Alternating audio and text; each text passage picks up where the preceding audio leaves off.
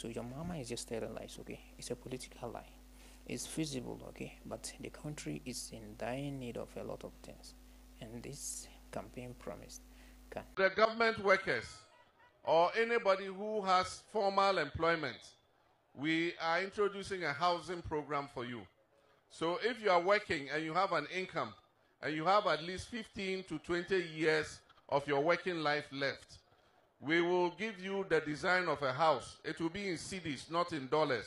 You show where you want the house to be built.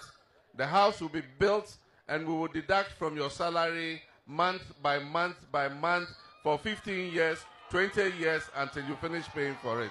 And so teachers, nurses, doctors, everybody who has a fixed income, you can benefit from this housing program. You can either build it in your hometown or you can build it where you are working so that you don't have to pay rent. And this will be available to all those who have working life of about 15 to 20 years left. You pay in cedis, not in dollars. And you pay at a low interest rate, not at a high interest rate.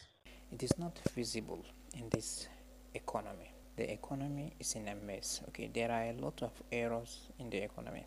There are a lot of challenges in the economy that need to be fixed before certain things can take place. Because the country right now is in a mess. A lot of things are wrong.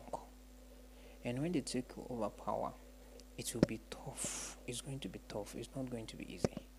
So if you start giving out promises that are not very much feasible you are the one going to face it in the next years to come so if they are giving out if they are promising Ghanaians they should make sure the promises are feasible.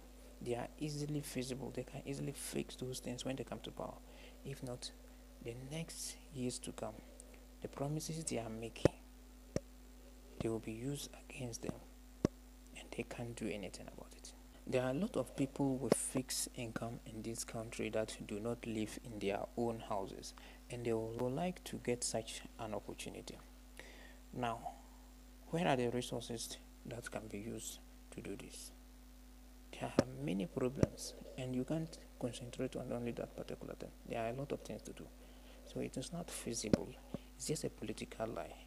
And they shouldn't engage in political lies. They should tell the people the truth. Okay, don't lie to the people, or don't give them things that are not feasible, things that you cannot do, promises that you can't do.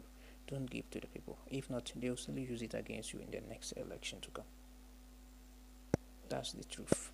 Now, he was campaigning and saying that people with fixed income. What about those who do not have fixed income? What do you have for them? Should they vote for you or they shouldn't vote for you? Okay, me, I don't have fixed income, so I will not vote for you. Those with fixed income will go out and vote for you. Is that not it? It's as simple. So if you are campaigning, you must address everybody's problem. Okay, address everyone. Don't say that those with fixed income. What if, if I don't have fixed income? I shouldn't vote for you, right? Okay, I'm not voting for you. Period. So if you are promising the people, you must know that there is every group that you are promising. People with jobs, people with no jobs, people with fixed income, people with no fixed income. So address all of them.